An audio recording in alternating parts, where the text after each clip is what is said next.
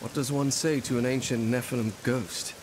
I suppose you start with Another glorious day in the Corps. Hello, my friend. Stay a while and listen. What's going on YouTube? It's Filthy and we're back with another video. Season 31 has been announced for the 12th of April for Diablo 3. We're going to talk about what this tells us for this game moving forward because I think there are three big things that it tells us which is going to be helpful for players I think to kind of plan their journey through Sanctuary whether they want to play Diablo 3, come back for a season, skip a season, what we can expect from the game moving forwards. So we're going to go through those things. Before we do, as always though, a thumbs up brightens my day. Okay, so number one, we're going to get a season every three months. The last season started like early mid January. This season is starting mid April. It does look like every three months we're going to get a complete leaderboard reset, a complete fresh start.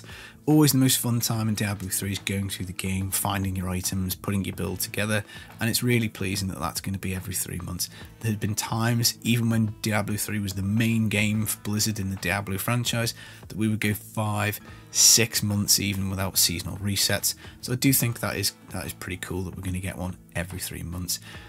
Also, we're going to get a whole month for this season to breathe. So Diablo 3 season comes out mid-April. Then we know the Diablo 4 season comes, I think, mid-May or towards the end of May. So we're going to get a full four weeks.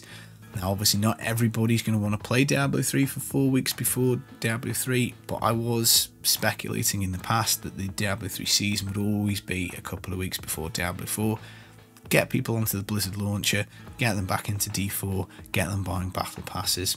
Um, but ultimately, if we do get this breathing time in between, then that's going to be good. There's no guarantee that'll be moving forwards, but a season every three months, regardless of whether it is only a couple of weeks before every Diablo 4 season, I think is going to be pretty good. We also know that because we've got the open cube, we are cycling through the old season themes. Of course, we've just had Soul Shards, open cube. There's some really banger season themes left. Ethereals, we've got the sanctified items, fourth cube slot. There's, there's going to be some good ones coming. And again, that's kind of nice because it means that you can skip a season. If you don't fancy the season theme, you can just skip it. You know there's another one going to be coming in three months' time. We're also getting a rotation of all of the old cosmetics, so wings, pets, if there's any that you missed out because you just didn't get to play, maybe you were playing a different game, maybe you just weren't into Diablo 3 at the time, then again you can check out the, the preview blog, look at the cosmetics and go, do I want to play this for the season theme? Do I want to play it for the cosmetics? And then we can kind of move forwards from there. Now the second big thing I think is is there are no balance changes whatsoever. So that is it now. I think we are done with Diablo 3 in terms of anything changing ever. So we're not going to get any new balance changes to any of the sets. We're not going to get any number changes on them. Nothing's going to get looked at. This is all kind of set in stone. And with this also means that we're not going to get any more PTRs because there's nothing left to test. They haven't tested this new season theme with its interaction with how the game has um, updated to the, the season theme that we're going to get now, which is the open cube. How that interacts with the items in the game, the mechanics in the game, they're not going to test that. This worries me a little bit, so just off the top of my head, something like Sanctified Items, where there was one power where the Crusade had the automatic uh, meteorites falling down from like Fist of Heavens.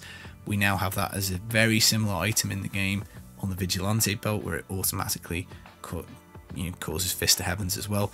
Will those things be duplicated? Will they interact together? Who knows? That could be crazy. Um, the kill streaks, how will they interact? I don't know. It look, we're just not going to get any more testing time uh, and that is just kind of it. So at least now we know we know where you know the Leapquake Barb is, we know where the Nova Necro is, we know where the Frozen Orb Wizard is. Obviously, season themes will impact builds differently. I think the most popular season themes moving forward will be ethereals, it will be sanctified items, stuff that change how the builds actually function. But in general, the other themes that they'll run everything is now set in stone and there are no more balance changes. Bit of a shame because the last patch, season 30, did improve a lot of things. It brought big builds down, which was good. It brought some of the crap builds up, which was good. But I still think there is quite a lot of wonk left in the game. There is not a particularly even playing field. I think this job to sign it off as finished could have been done better. But it is what it is, and we are where we are.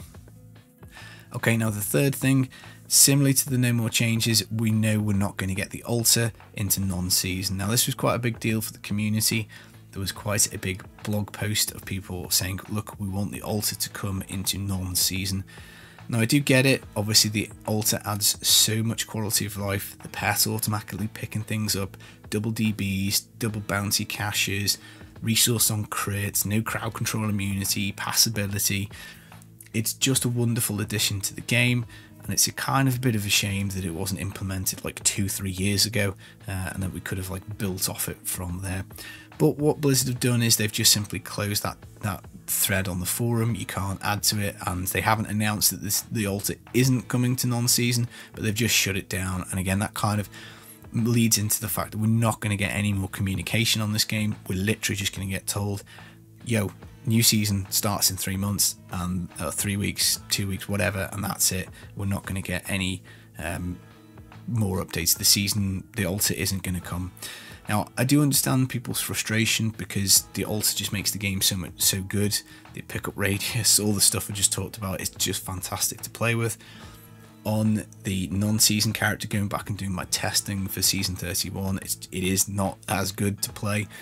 But ultimately, I think it's kind of nice because it means that when you do actually come and play a season of Diablo 3, you've got the altar to unlock, and then you get all the benefits uh, of doing so. And it gives you a little bit of a kind of elongated chase. So if you do want to do your season journey and unlock the altar there's a bit more kind of like game time to, to play there. Also tied to this the visions are not going to come to non-season. They're going to be restricted to seasonal content only. Again i can kind of see the argument here. You're trying to make the seasonal experiences Uh, rewarding for people who are coming. Not only are they getting a season theme, they're getting the altar, they're getting the visions. So I do, I, I think overall, personally, I think it's a good thing that these things are not in non-season. But obviously, a lot of people, let's say, might think that this current season theme is underwhelming. Maybe you only play Monk or Demon Hunter and you don't really see how the open cube's going to impact you terribly. Well, you might want to work on your non-seasonal characters not having that altar of rites means you are lacking like one or two GR tier power, and you're also lacking all this quality of life thing. So I kind of see it both ways, but ultimately, I think for the for the longevity and fun of the game, I do think it's best to, to leave it in seasonal only. So overall, on the positive side, a season every three months, I think is a pretty good thing there's been times in my life where I've been waiting waiting more than three months after I was done with the season for the next one, so that's pretty good. On the negative side, I think there were probably still quite a lot of quick wins that could have been had on the table. You know, things like looking at this season theme that we've, we've gotten right now, adding the free RoRG to it would have made it a much better season theme. Then every class would have got a little bit of power, every build would have got a little bit of power too. But we'll just have to see where we are. So overall, this is just going to be a nostalgia. It's going to be a blast from the past. You get to do your reset every three months. You can play one season a year, two seasons a year. Pick your favourites and come back. Uh, the game is going to be in a nice, nice spot uh, moving forward. So basically, I'm going to keep making content until people decide they don't want to watch Diablo 3 stuff anymore. I'm probably going to branch out more into Diablo 4 now. It looks like they've fixed quite a lot of that game. Again, we'll kind of have to see uh, how that all pans out. But overall, I think we can be in a, fairly happy place with Diablo 3, even if they just reset it and cycle the season themes. I think that's good enough for me for a game that is really old, that's got no monetization for Blizzard, they can't really get any more money out of it. And let's hope that they carry on making improvements to Diablo 4 and turn that into the game that we all would like it to be. Right, that's it guys, I've been Filthy Casual, hope you enjoyed the video, take it easy guys, peace.